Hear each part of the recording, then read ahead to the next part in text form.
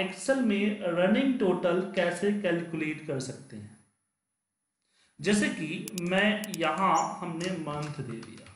Month और month के बाद हमें ये हमारे प्रोडक्ट के सेल्स है। और यहाँ पे हमने टोटल ऐड किया हुआ और यहाँ पे हमने आठ टोटल कर दिया। तो यहाँ पे मैं जैन फैब यहाँ देखता हूँ। दिसंबर तक। और रैन बिटवीन की मदद से हम यहाँ पे कुछ नंबर्स आला देते हैं।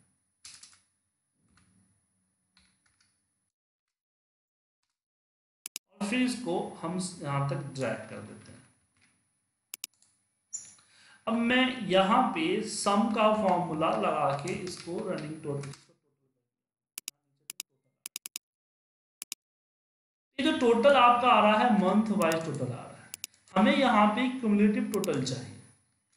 क्यूमुलेटिव टोटल मतलब कि मुझे पता होना चाहिए कि जनवरी में कितना टोटल था? तो जनवरी में मान लीजिए टोटल था। फरवरी में तो फरवरी में जो है टोटल हुआ ए प्लस आ गया। अब इसको नीचे तक ड्रैग करेंगे तो ये हमारा टर्निंग टोटल दिख जाएगा।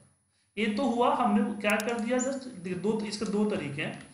पहला तरीका है कि हमने इक्वल प्रेस किया और पहले मंथ का टोटल को सिलेक्ट कर लिया। फिर नीचे हमने क्या किया कि दूसरे मंथ का टोटल प्लस आठ टोटल हमने सेलेक्ट कर लिया, ऊपर वाला। फिर इसको नीचे तक ड्रैग कर दिया तो ये हमारा टोटल आ गया।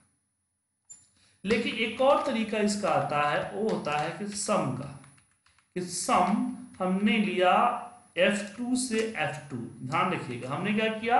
F2 से F2 और हमने पहले वाले F2 को F4 से फ्रीज कर दिया और फिर इसको नीचे की तरफ़ ड्रैग किया। इसमें क्या हुआ?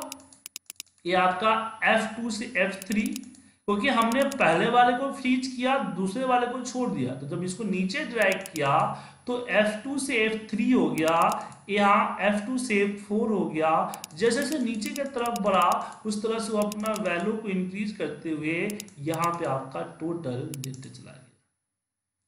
और एक मेथड हम आगे भी यूज़ करेंगे। ये टोटल करना आपको हम नहीं सिखा रहे हैं बट इसकी जो मेथड है, इसको हम आगे काउंट इफ़ में मैक्स में, बहुत सारे जगहों पे यूज़ करेंगे।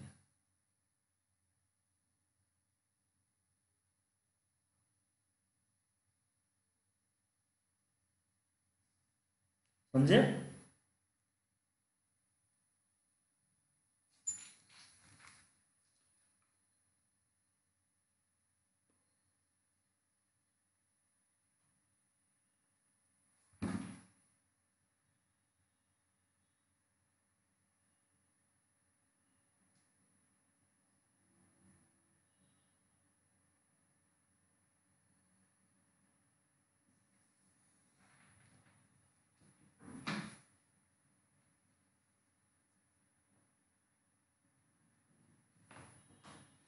लेकिन एक इस तरह की चीज़ें यूज़ कर सकते हैं अपने ऑफ़िस